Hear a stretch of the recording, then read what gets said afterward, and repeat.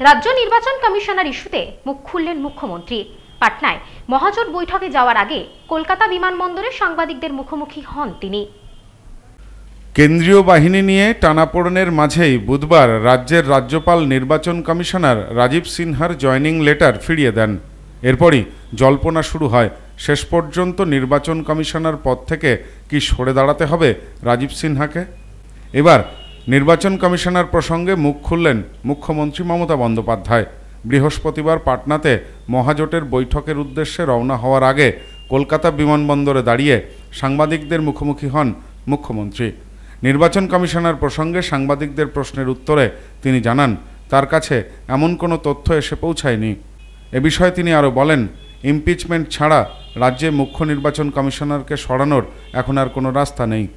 ত্রিপুরার নির্বাচন প্রসঙ্গ টেনে তিনি বলেন, ত্রিপুরার মতো রাজ্যে ছিয়ানব্বই শতাংশ নির্বাচন করা হয় না। যত বেশি বাহিনী নিয়োগ করুক, মানুষের ভোটেই আমাদের জয় হবে। না, আমাদের কাছে ধরনের কোনো ইনফরমেশন নেই। আর এগুলো জীবনে হয়নি। এগুলো আনপ্রেসিডেন্টেড কনস্টিটিউশনাল পোস্ট হচ্ছে, মনে রাখবেন, তাকে ওত নিতে হয়। উনি ক্লিয়ার করেছিলেন ফাইল ওতও দিয়েছিলেন। সুতরাং এটা নয় যে উপর থেকে চাপিয়ে দেওয়া। সিস্টেম অনুযায়ী হয়েছে। ইলেকশন কমিশনের কে যদি সরাতে হয়, তাহলে জাজেদের যে সিস্টেম আছে ইমপিচমেন্ট করা, সেই ইমপিচমেন্ট প্রসেসে যেতে হবে। It is not that easy ওরা যত আমাদের ঘাটাবে, যত আমাদের পেছনে লাগবে, যত বাংলাকে অসম্মান করবে, যত বাংলাকে বঞ্চনা করবে, মনে রাখবেন ভোটটা দেবে কিন্তু মানুষ।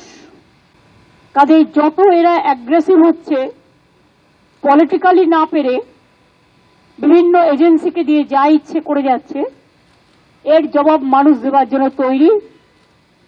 আমরা লড়ে নেব এবং জিতে নেব। আমি বলব সবাইকে শান্ত মাথায়, শান্তিপূর্ণভাবে ইলেকশন কমিশনের নির্দেশ মেনে উনি ওনার মতো কাজ করুন এবং আমরা সবাই আমরা আমাদের মতো কাজ করব।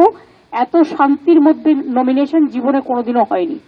ত্রিপুরায় ছিয়ানব্বই পার্সেন্ট সিটে ইলেকশনই হয় না।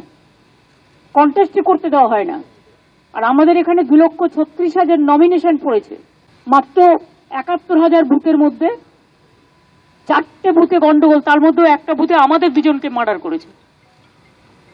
তাতেই একেবারে এ টু জেড যত সেন্ট্রাল গভর্নমেন্টের এজেন্সি আছে এক হয়ে গেছে। Bureau report news no man's land Kolkata.